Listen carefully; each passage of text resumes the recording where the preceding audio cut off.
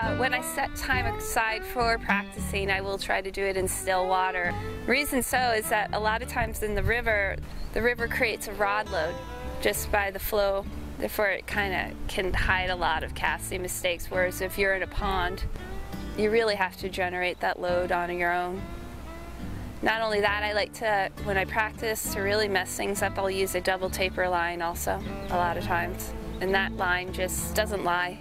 it tells you everything. I think the single most fundamental um, aspect of spey casting is to keep everything smooth. Use a slow, easy tempo. When things fall apart for me, it normally from the start of the cast, so I like to go back to my lift and then keep everything simple, try to break everything down. The other uh, fundamental part of spey casting is have a really good rod. the most single most quality is this thing. It's about feel for me. I look for rods that i feel as though have a soul. And um, normally comes down to their taper. You know i look for something that has a, a, a bend all the way through progressive bend.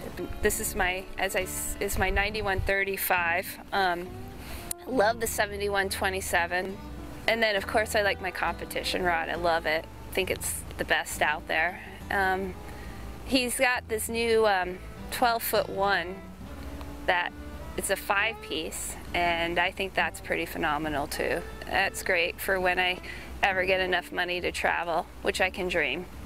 Yes. Russia. dream.